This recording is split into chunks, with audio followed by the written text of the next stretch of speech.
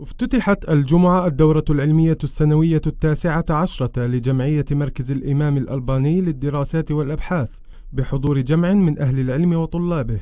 فضيلة الشيخ علي بن حسن الحلبي تحدث حول أهمية التأصيل الفقهي لطالب العلم وحول أهمية المذاهب الأربعة وبين الفرق بين تعلم المذاهب والتعصب للمذاهب. قال ما منا إلا راد ومردود عليه إلا صاحب هذا القبر. وأشار إلى قبر النبي محمد صلوات الله وسلامه عليه.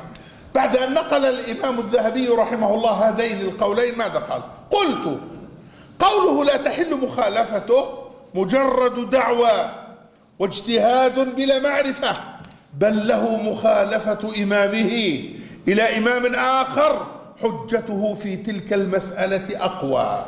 إذا العلم مبني على ماذا؟ على الترجيح للدليل الأقوى. وعلى الترجيح للبرهان الأبين كما قال تعالى قل هاتوا برهانكم إن كنتم صادقين. القاضي عياض وهو من علماء المذهب المالكي يعني أستطيع أن أقول الذي لا يخلو من تعصب. رحمه الله.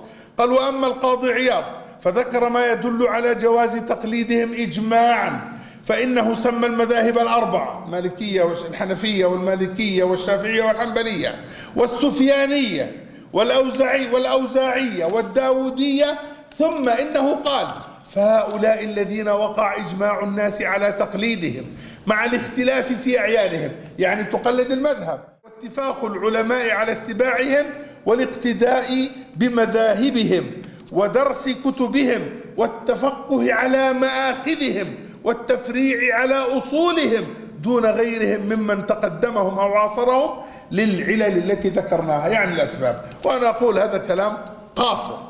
فالقضية مرتبطة بالدليل.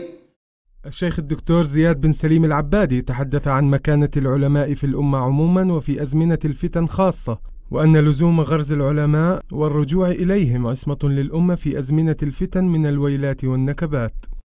منزلة العلماء ومكانتهم في الإسلام عظيمة. فللعلماء مكانة عظيمة حفظها لهم الشرع لعظم قدرهم. فطاعتهم قرنت بطاعة الله ورسوله. ثم تحدث الشيخ أكرم بن محمد آل زيادة عن أهمية الأخلاق لطالب العلم وعن أدب الزمالة وأدار الافتتاح الدكتور محمد بن كمال الرمحي المدير التنفيذي للجمعية. أهلا وسهلا بكم في جمعية مركز الإمام الألباني وفي الدورة التاسعة عشرة من من من دورات مركز الإمام الألباني. هذه الدورات السنوية التي تقام في مركز الإمام الألباني التي يستقبل فيها المركز طلبة العلم من كافة أنحاء البلاد البلاد الأردنية وينتفع بها عبر هذه السنوات أكثر من عشرة آلاف طالب على مر السنين التي مرت وينتفع بها عبر الإنترنت كثير من طلاب العلم.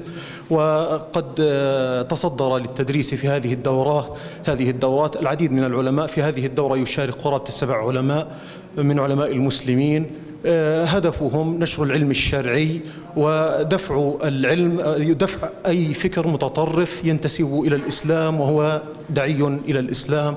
وجزاكم الله خيرا.